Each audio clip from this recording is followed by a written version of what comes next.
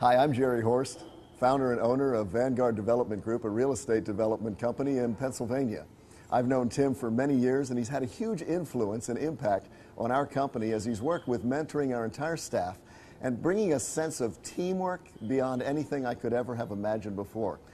I encourage you to get involved with Tim and his ministry in any way that you can because the impact on your business, on your ministry, will take your life from one place to a whole nother level.